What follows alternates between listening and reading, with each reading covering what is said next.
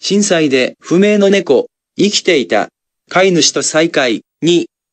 陸前高田市気仙町の杉林にじっと座る黒い猫を地元の夫婦が保護し、大船渡保健所に届けたのは4月10日、首輪があり、人懐っこい、首輪にうっすらと文字が浮かんでいるのに職員が気がついた。山岸という文字と携帯番号、なんとか判読し電話をかけると、山岸剛郎、竹雄さんにつながった、飼い主その人だった。